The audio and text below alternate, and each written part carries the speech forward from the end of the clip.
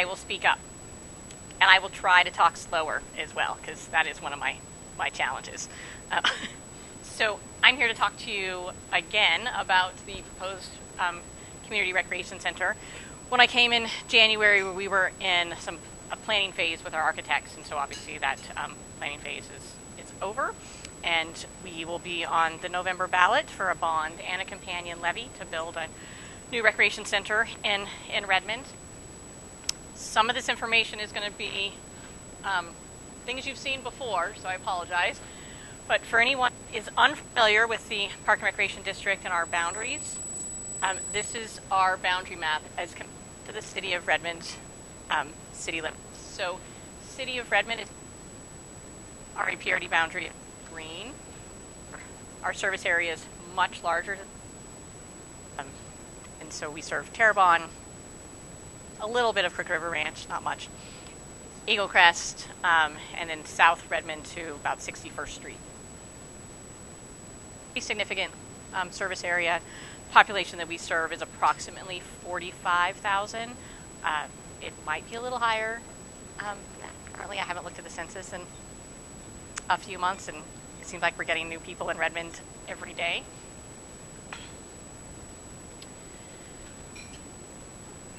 So we like West 35th and Lava, and the easiest land is about is across the street from our property. Highland Baptist Church is on the corner. We're one lot in, and so there's an empty lot north of us that's privately owned, and there's power lines go pretty much the middle of that lot. So, and it's probably not really buildable. Um, we have a little bit of power lines. We have one that goes through the northwest corner of our property, but the rest of the property is pretty, has fabulous views currently. Um, you can see the mountains really well. It's a, it's a good location, I think, for Redmond. There's a lot of um, construction happening in South Redmond and West Redmond, and it's fairly easy access for majority of our um, our residents. Once the 35th Street Highland intersection is improved, when ODOT um, does that project someday, then it will have really, I think, easy access from um, people who live north of Highland as well.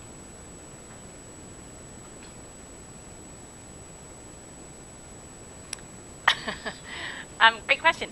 It is almost paid for, so um, I believe our last payment is in 2024. So we should be making our last payment um, right before that building would open if we're successful with our bond. And we purchased that built that property in 2009 when we had our failed bond attempt in November of 2008. And one of the things that we heard from the community was that we needed a location. So we didn't have a location um, when we had asked in 2008, and we felt it was important for us to invest in the property, holding on to that property for, for this purpose since then.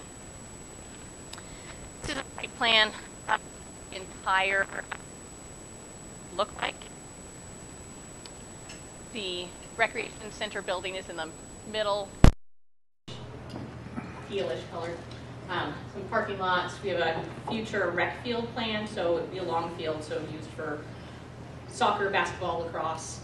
Um, and then it says on the site plan court, so one tennis court or four pickleball courts.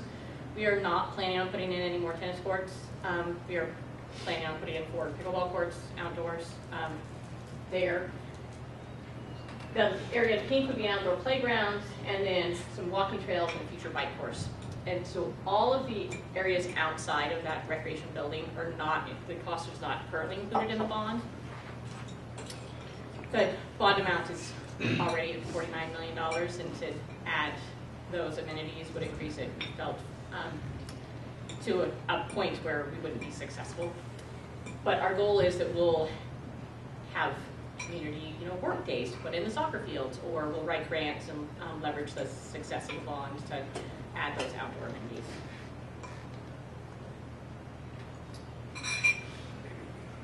So this is a list of what the new facility um, amenities would look like. So we're looking at having a gym that's a high school sized gymnasium that could be divided into two middle school sized um, basketball courts.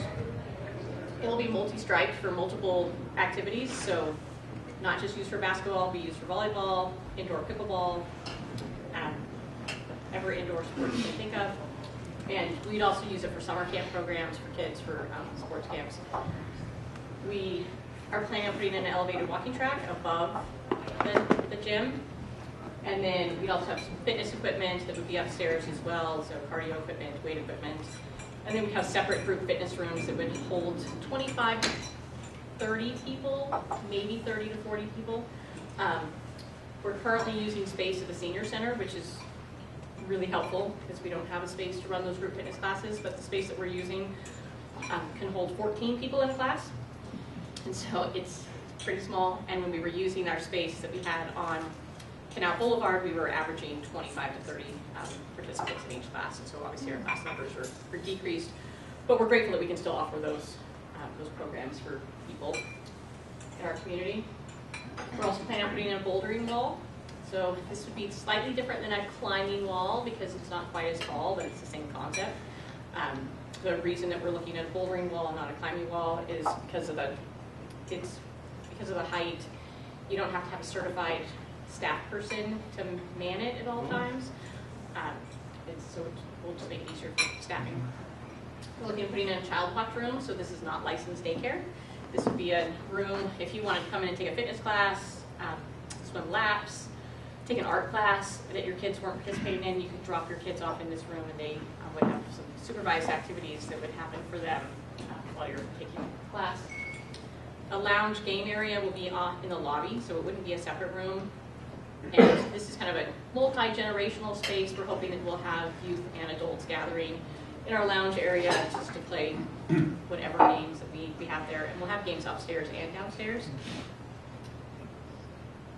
Aquatics will be an eight-lane, 25-meter pool and a separate um, recreation pool, which sometimes is called a leisure pool or family fun pool. This is a this is a pool that has zero depth entry. It's ADA accessible. I mean, you can um, wheel a wheelchair directly into it, and it would be warmer water, so it would be used for swim lesson programs for younger kids, for water fitness classes, water therapy. Um, we'd also have a lazy river in there that's really great for exercise, but also just for floating if you don't want to exercise. Um, and we'd have a water slide as well. And we're not planning a water slide that dumps into a body of water. It's a fairly new concept for me because I just kind of assumed that that would be the slide that we would put in. But we're planning a water slide that has a separate flume. It will end on the pool deck um, by itself, and it only has a few inches of water, and so it's safer for younger children to be able to use it. Older people can use it as well, but um, if you've ever taken your kids to a water slide and you watch them go down, as soon as they hit that water, they sink. Um, and so it's not I mean, they're, they're safe, but you have to have extra staff on just to make sure that they come up, and it's a little intimidating, especially for the younger ones. And so this will make it to where they, they won't sink. They'll just come to the end of their little flume and stop. Well, our plan is to have one multi-purpose room, which would house 80 people. We could divide that into two rooms for 40 people, and that would be used for our programs, so our art classes, cooking classes. um, Sports camps could happen in there, you know, on the floor, but also community meeting space as well um, could happen in those rooms. And then, um, not on the slide, we'll have two separate like party rooms that will be right off of the pool. So currently, if you want to use our swim center for a birthday party, you rent the whole facility. Well, this will give us the option where you rent a room and then you can still use the, um, the aquatic portion and not have to rent the whole facility. There will still be options for renting the entire facility for people that wanted the pool to themselves, but this might make it more cost effective for families that maybe couldn't afford to rent the whole facility but still wanted to have their kid's birthday party at, the pool. And then a teaching kitchen is planned, and this would be a kind of smaller space that's attached to one of the, the multipurpose room that we could use for, for classes. And then we'd also, it would double as a break area for our staff as well. And then obviously we'll have locker rooms in there, including um, individual uh, family locker rooms. Before I talk about bond costs, I figured I should talk a little bit about how much the admission costs are planned to be because um, it's, we're subsidized by tax dollars um, so we can try to keep our admission fees um, affordable, but the tax, the taxes that our community pays to support the facility aren't enough to cover the entire expenses of the facility. And so the daily admission for um, kids would be five dollars, adults eight dollars, seniors currently five dollars, and a household would be twenty-one. But those, for the people that use our facilities on a regular basis, there'll be monthly passes, six-month passes, um, twelve-month passes available that would greatly reduce that cost. We also have scholarships available for anyone in our community that can't afford to um, pay admission fees. And we partner with three different health insurance providers, but companies. Um, so Silver Sneakers, Silver and Fit, and Healthy Contributions through AARP that will cover the cost of a variety of people to use our facilities for free. And two of those, even though they say, like the Silver Sneakers one, it's not just for the older adults, they have a program for ages 18 to 64 as well, um, that some people utilize.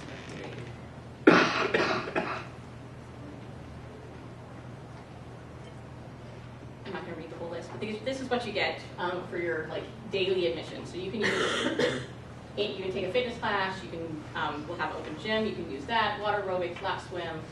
Um, Child watch would be included. The things that would not be included would be our specialized classes where we have to bring in extra instructors. So swim lessons, sports camps, art classes, um, knitting lessons, sewing, those kind of things. um, Will be an additional admission fee, similar to our current recreation programs that are offered.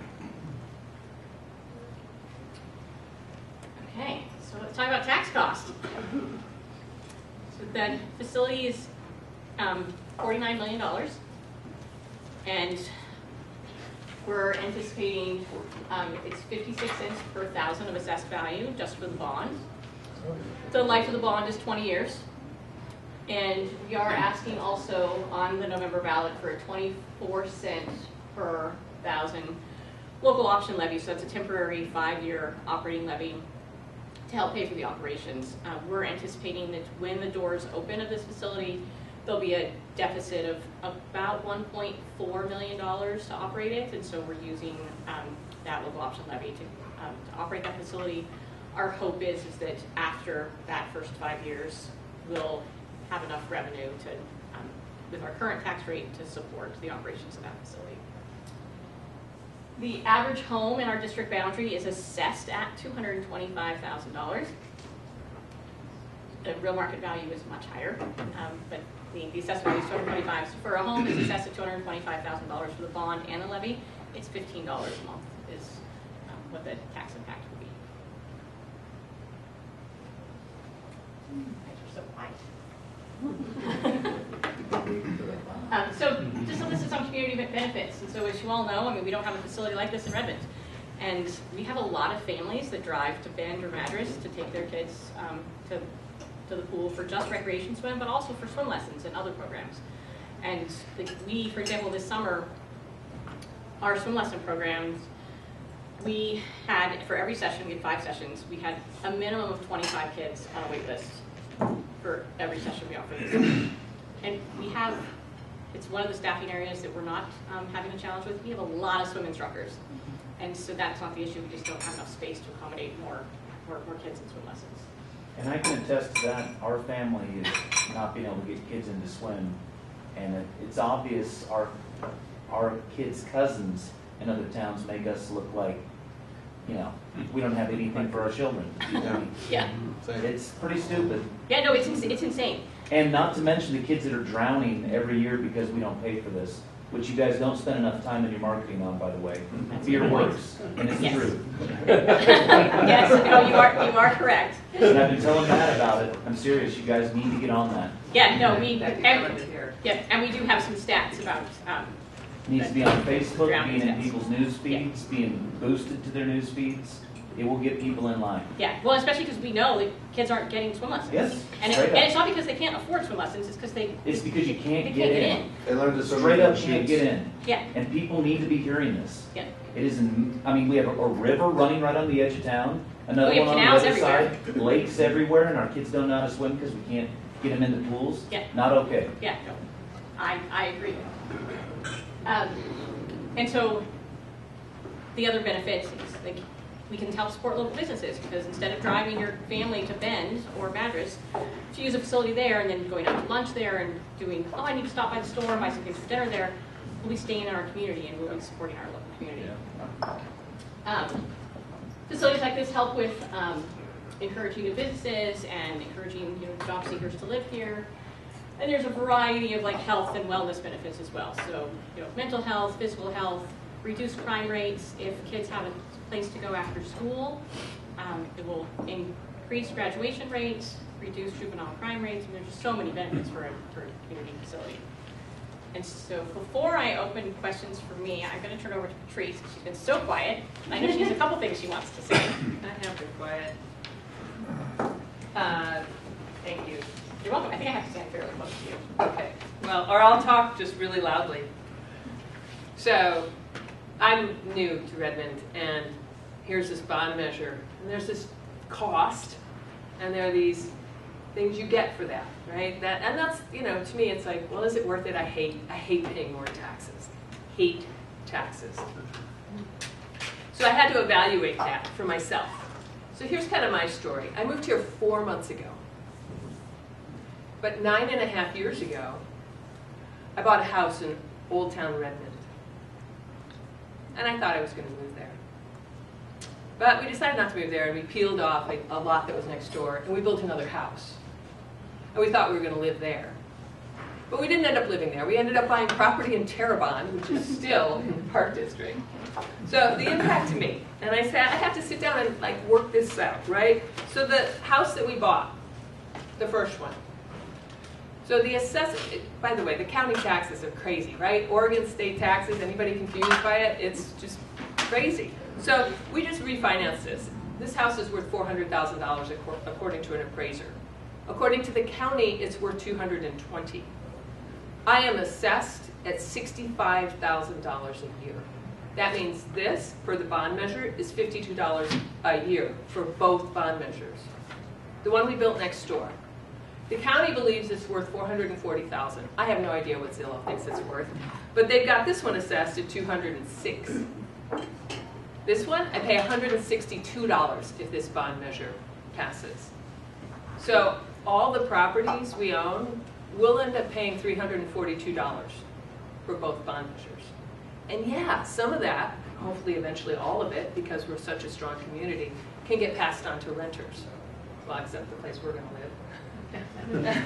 But, but, you know, why would I be willing to pay three hundred and forty-two dollars more a year and probably absorb some of that?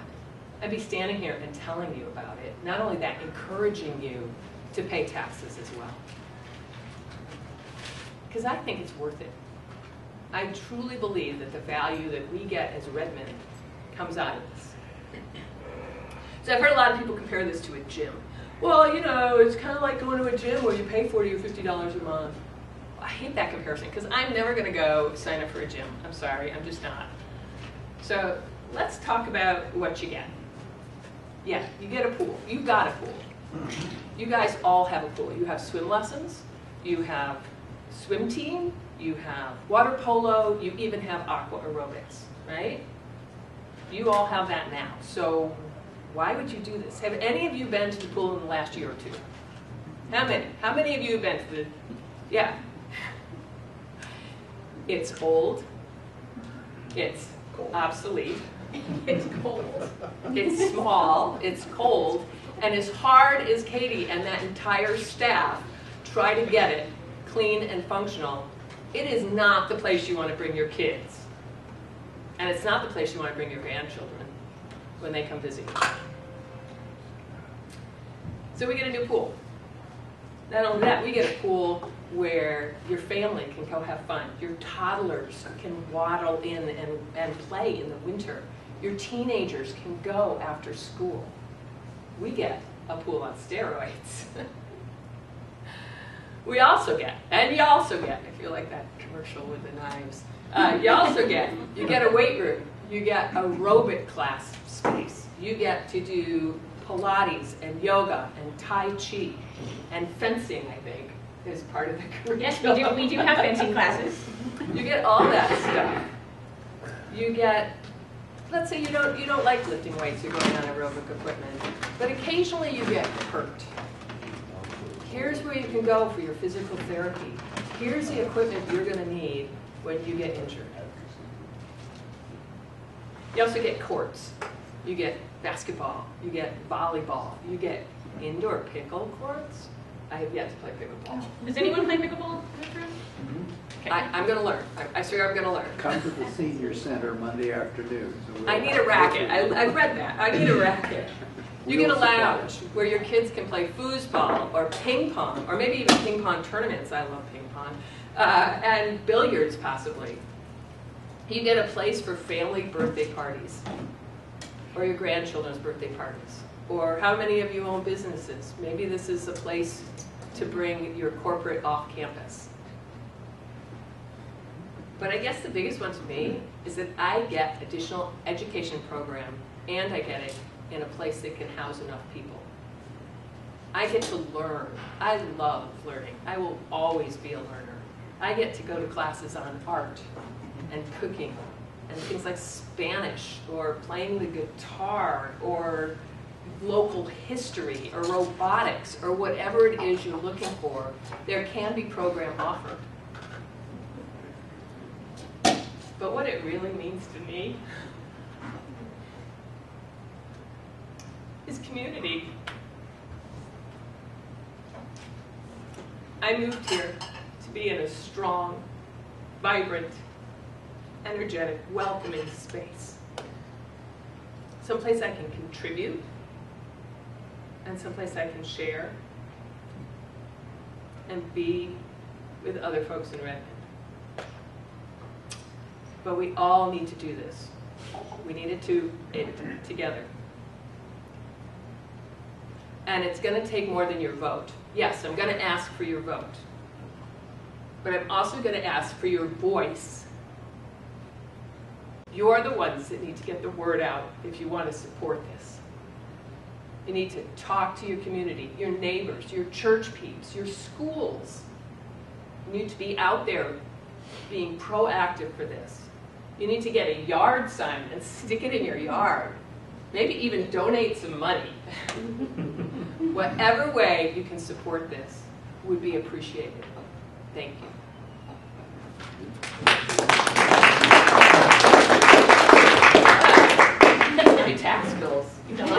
Soon. Thanks, Patrice. Yeah. So I jotted down your suggestion um, about drowning, but does anyone else have questions or suggestions for us? Yep, Dan. How does this, uh, how does this differ from the last time around? And does that difference give you more confidence that it has greater appeal and will? So the facility is roughly similar to what we asked for in 2019. Uh, With the exception, we added the eight-lane, 25-meter pool. And the reason that we added that, we we kept it out in 2019 because we have a facility that we're still planning to operate. Um, But the reality is, as our community continues to grow, we're going to need two competitive pools. The Cascade Swim Center is aging. Um, It's a leased facility, and so we wanted to invest in a facility, a community facility that was um, Park District controlled. Um, And costs are just going to increase. So if we put it in phase two, just adding that, you know, that, that body of water would, if we did it 10 years from now, would probably be double what it costs today. And so, um, so that's the biggest change to the facility. But I think the biggest thing is our community's changed. Um, truly, I think in the last two and a half, three years, I think that we really see the value of services um, in our community that we didn't have or that we don't have. And I think that having to travel, even if it's a short distance, you know, it's 13 miles to Bend, um, or you know, it's 26 miles to Madras, it's people don't want to have to do that anymore. Um, and and I think people are starting to get frustrated. I, I think three years ago, we could say our pool was at capacity, but our pool was at capacity because we had so many different programs that were vying for pool space, but we didn't have a waiting list for swim lessons like we do today. Um, we didn't have people walking into lap swim almost every day and leaving because they can't get space. Um, those, so I, I think that uh, we have a better chance because our community's changed. Okay. I Two questions. One, um, what's going to happen to the old facility? And second, will this new facility have electric vehicle charging station? Oh, that's a great question. Um, so first, what's going to happen in the current Cascade Swim Center? So our plan is to keep it in operation. Um, our lease currently expires in 2028, so we're planning on operating it at least through 2028. We're anticipating that we'll operate it after that, but we don't know. And, but it won't be the same facility, so it will be used more for lap swim, competitive swimming, maybe the um, upper level swim lesson programs, um, the pre-competition programs. The water pool temperature might be a little bit lower than it is than it is now because of the type of programming that's happening there. We anticipate it will be open early in the morning, you know, 5 a.m. to maybe 2 in the afternoon. Um, we think that families are going to want to use the other facility um, in the afternoons and evenings, but we're, we're planning on keeping it in operation. And then your second question, I actually hadn't even thought about charging stations, um, but we probably should, and I wouldn't be surprised if when we are submitting permits for this, that it's going to be required that we have, It'll be mandated. yeah, that we have a few. But that, that wasn't even on my radar. Yes. I live out at Eagle Crest. We have all of that. But you're gonna reach But, as you said, the sense of community. There's a lot of people who do not have, that don't have access to it. If you don't build it now, you're gonna build it later, and when you build it later, you're gonna spend more money. Well, the same argument you hear from people about, we don't need new schools, I have, my kids are grown, I don't. And we just have to remind people that, I mean, the only way we're gonna get these things is by support, all of us supporting them. You hear some of those things, I'm not gonna get any use out of it, and we just have to bring them back to the kid, I mean, the vast majority of our kids in town are just being way underserved with all these things, and this is the only way, we all have to support it. Well, and it's kids, but it's also adults as well. Yeah. I mean, there's, and seniors, I mean, it's easy. In town, yeah. And yeah, it's easy for me. I mean, my, my, my favorite recreation activity is to go find a trail and hike in the middle of nowhere with, with nobody around, which is really difficult to find these days. Um, but as I get older, I really want to be able to exercise inside. I really want that elevated walking track, and or in the winter months today, I, I mm-hmm. want And water aerobics And for water our aerobics, aging yep. people that need low impact, I mean, yeah. So I'd like to go back to Eagle Crest for just a moment. Eagle Crest, I'm sure, has lovely facilities. And I'm sure that that's where people of Eagle Crest bring their grandchildren. But that facilities, those facilities are going to reach capacity. And if you don't have the option of also tapping into Redmond, then Eagle Crest eventually will have to build. So in a way, it benefits Eagle Crest for future of Eagle Crest not having to put down the capital to build bigger facilities. So there is a true benefit for that community to have Redmond have facilities that will complement what they've already got. So my question is back to the, um, the assessment, is that, um, just city of Redmond residents, or is it, is that whole area that you serve? Yeah, And so- all the houses in there, so Eagle Crest would have to pay for it whether they wanted to or not, as long as they get enough votes. Um, correct. So maybe that, that also then encourages the, the view of this being, uh, you know, larger than yourself.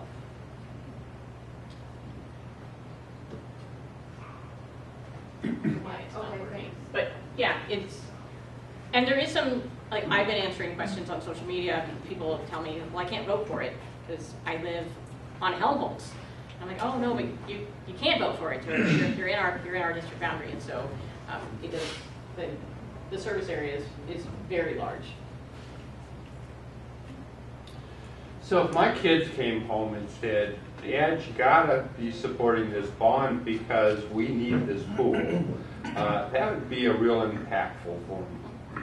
Is there a strategy to get our children up to speed and understanding it and advocating for it?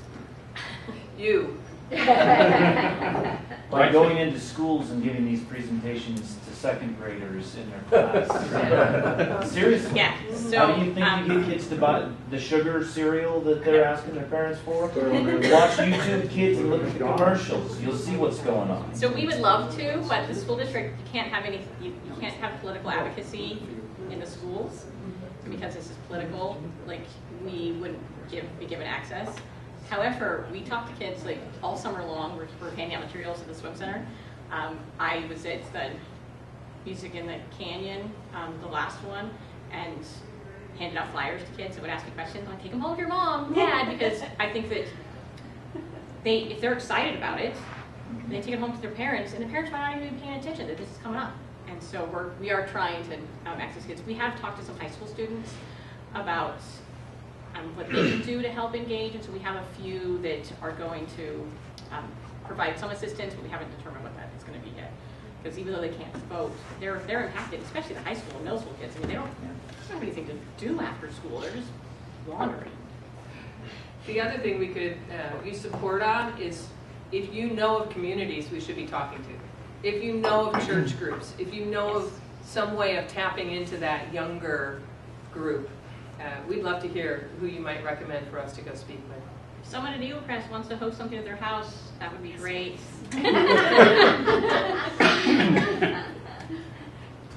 So t- two things. First and foremost, if anybody needs to know what their assessed value is, I just did it on my phone right now. You just go to dial.deschutes.org, key in your name and all of your property, any of your properties that you own, whatever, will come up in a list. So, like my primary residence, my rental property, et cetera, are in here, and I can go and look. And my rental property, for example, is assessed at 134,000, Which is much below the average. Which is much below the average. Yeah. So that's cool. I didn't I didn't know that. So I just figured that out. So I wanted to share that. But secondly, I think back to when Ridgeview did their school the school bond. And Ridgeview, if you remember the time it was built, the economy was slowing down, building costs went down during that project. They ended up coming in much under budget. Do you guys see that as a possibility? And if so, do you spend all that money and do all the extra things, or do you potentially bank some of that money, depending on how it's written, um, so that you don't have to do the levy? So you can't use bond dollars on operating expenses. Okay, gotcha. Um, And so we would, we would do the exterior. If for some reason there was funds left over after that, then we would make some improvements probably to the Cascade Swim Center. We also, those of you that have listened to me talk the last many years, we have this fabulous property at Tetherow Crossing that I really want to restore at some point, and so um, we could potentially um, use money for that as well. But this is our priority, so this is what we funded first, and then anything would be else would be funded after that. But yeah, it would be great if we didn't have to charge that levy. I want to say last time this was on the ballot, it was also going, depending on where you lived, you were voting for three potential tax increases. If you were at Crooked River Ranch, you were voting for a local assessment, a Jefferson County assessment, and this assessment. Um, Are you competing against any other tax increases at the same, at this time with this ballot? No, Okay. there is, as far as I know, there's nothing else on the ballot that's um, tax So you related. would vote yes. Yeah, and I don't Luckily, think the it police, takes the, precedence. the police station was done before, so I Yes. mean, people may forget about I thought it did. Does it say Crooked River, Crooked River Ranching? Only Deschutes County, Yeah. so not, so not a lot, just the Deschutes County portion. Yeah, but does, yeah, I, I haven't looked in a few days, but we, we communicate with all the other taxing districts to try to There was a plan. local fire option or something. Yes, I think there was a local fire option, yeah. And then they were voting for some kind of a sheriff's thing Yep. Did? that affected Crooked River Ranch too, so they were getting hit. Well, and voter- Three times. And voter turnout was challenging as well in May, I mean, and so we're hoping that we're, you know, we're in November, we're in a, we're in a very large election, and so voter turnout should be great, which, you know, could hurt us, but we think it will probably help us. um, 'cause- I think our generation hurt you. We didn't show up. Exactly. Yeah, voter turnout for 18 to 39 in the May 19 election was almost non-existent. I love that you think I'm in that track. Well. So where can we pick up signs? We want to put out a lawn sign, where we get them? So they're not in yet, but I will um, reach out to Josh, if that's okay, and then let you know where they're gonna be. I'm pretty sure um, pickup is gonna be at Windermere, but Yep. I I, would bring some here. yeah. And the other thing that hurt in the last election, when you guys tried 19, is you did not have a definitive location. Correct. And I, heard- that was a problem for me, and it was for a lot of people that were just saying no because you didn't know where you were going. Yeah, it was an either or. Yep, and that did not work. Yep, which is why, and we, I still get comments from people in the community, they're like, we would really like it at the current Cascade Swim Center. I said, well, we're not building it there. We, There's no options. I mean, There, there, there are options for growth Yeah. there, there's, and we don't own that land, so it doesn't make, it doesn't make sense. And so like, we're, we are all in on Southwest 35th, that's our property, that's what And the focusing on. growth, when you look at the growth of town, traffic flow issues and everything else, why would you make your traffic flow situation infinitely worse by sticking it between two schools, right next to a highway, bus drop off, everything else? Logistically speaking, it's a terrible location too. Yes, yep, I, I agree. All right, well, thank you guys thank for you. coming. We appreciate it. Being our guest. Thank you. Yes, thank you. And if you guys have more questions, I'm sure Katie's happy to answer Oh, yep, email. or- I'll, yep, and I'll hang out. There you go. Thank you, guys.